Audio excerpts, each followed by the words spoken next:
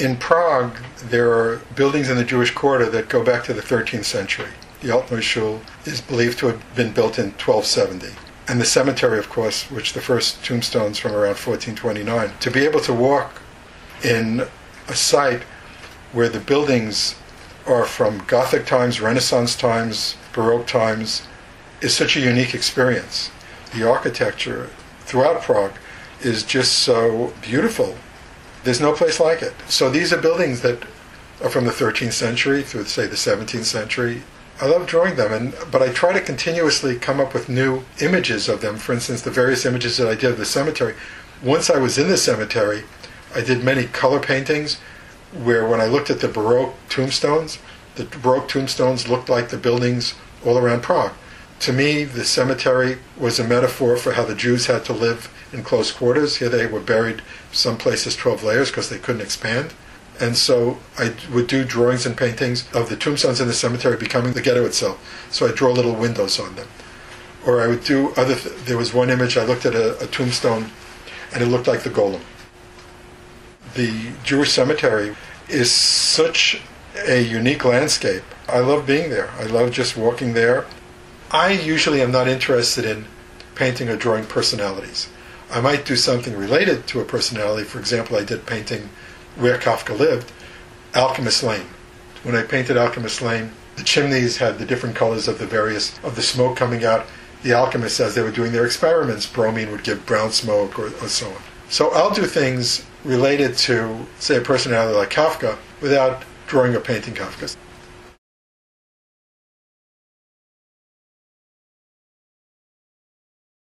When I proposed to Elie Wiesel to do a book on the Golem in around 78, 79, we spoke about going to Prague together, and I didn't really know about the Altneuschul until I started to do the research on the book, the interior, what it looked like.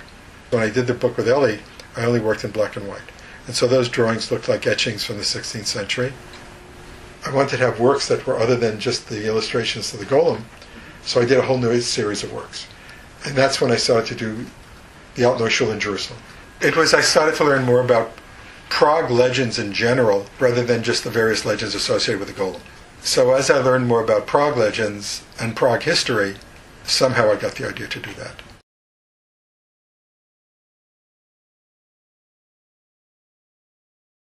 I was first asked to do the Torah curtain. And the way that came about was that Pharaoh Banyai, the president of the Prague Jewish community, saw the exhibition of the Torah curtain I did for Temple Emanu-El.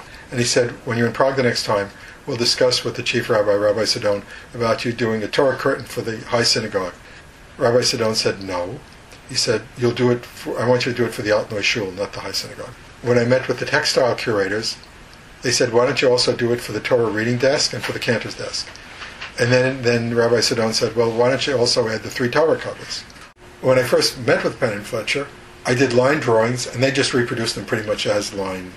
And I didn't even realize till I looked at them that they're only line drawings. It needs more when it's going to be on the parochet. But I wanted to make it rich as possible because I was looking at the textiles in the book, the textile book published by the Jewish Museum in Prague. I showed them what had been done before, and I wanted it in the tradition of what was done before. I had images of lions from before, just outlines of lions, but I wanted to make it more embellished. The lions are much more decorative with uh, very flowery manes.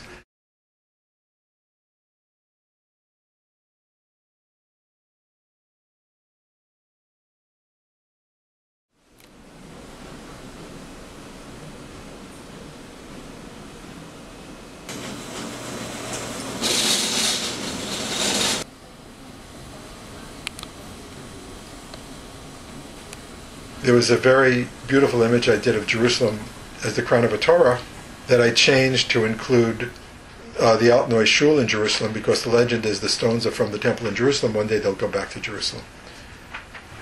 Very often on Torah curtains you'll see two pillars. Instead, I decided to do the 12 Torah pointers symbolizing the 12 tribes. I did lions, which you often see, lions with double tails, the Czech lions although I didn't do them as the heraldic lions, because I thought those tails were too stiff. And then I added the Torah crown and the uh, phrase from the verse from one of the Psalms from Out of the Depths I Call to Thee, which is supposedly the idea why the cantor stands lower. I was able to find a font from the 1526 Prague Haggadah. What I kept changing the most was the Torah covers. It was the Hebrew letters Kuf and Lamed for Holiness of the Lord. And then I incorporated from the Lamed the flag of the Jewish community, the Torah crown. For the large Torah, the, the smaller Torahs won't have the crown. And then for the Shulchan, there's the breastplate of the high priest with two lions. For the uh, Amud, where the cantor stands, I kept thinking, what should I have? You reach what's the most obvious and should have been thought out before as an open book.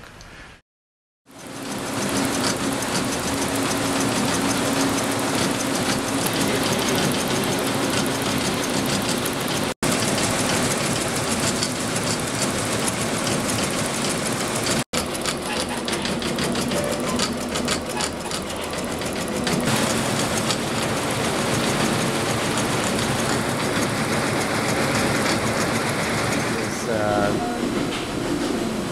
where we learn the mistakes that we can make. Uh, we had a machine failure here. Uh, there- this is an area where there are some bad stitching. This-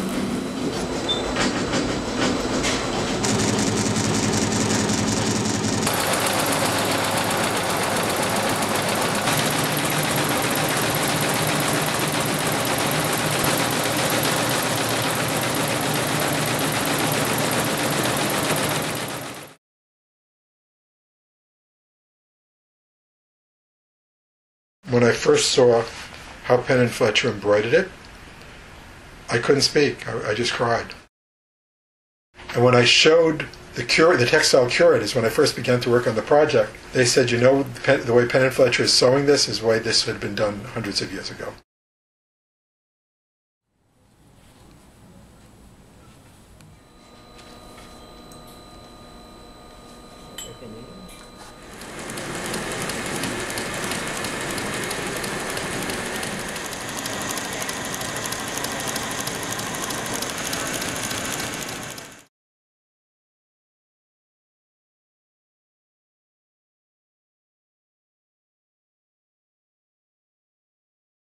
Without each other, we could not do this.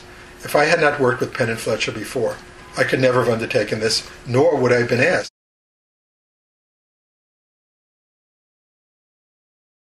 There's a famous saying that was attributed to several rabbis that every step I take is towards Jerusalem. So to me, every step I take is towards Prague.